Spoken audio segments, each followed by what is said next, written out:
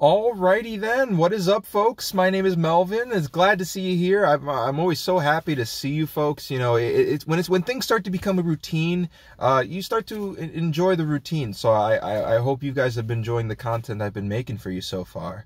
Um, so it's it's nice to see more comments, more feedback. I like having opinions of what people think of my com of my my content. And uh, funny enough, I think the opinion of my content is always so vastly different over the opinions you guys have. And I, I, I kind of like that. You know, when I make content that is entertaining to a lot of people, I don't know, it just, it doesn't feel as interesting because all they say is, oh, really good.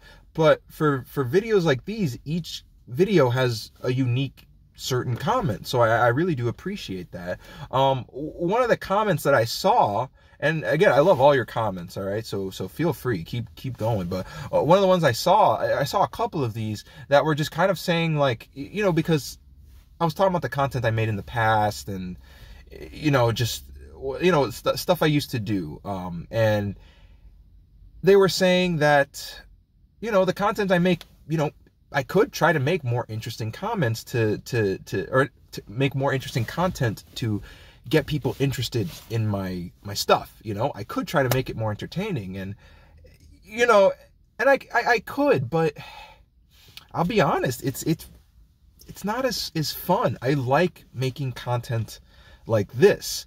Um it, it just feels the most natural. I i i feel like in my day to day i i don't have enough moments where i just can just be myself and just just just go with the flow as much as possible. You know sure i could i could write a script. I i could make something and and have a lot more energy and and know what i'm going to say and and no stutters and things like that but i i really enjoy talking to people. That's really what i like to do. And doing it this way feels as if I am talking to people.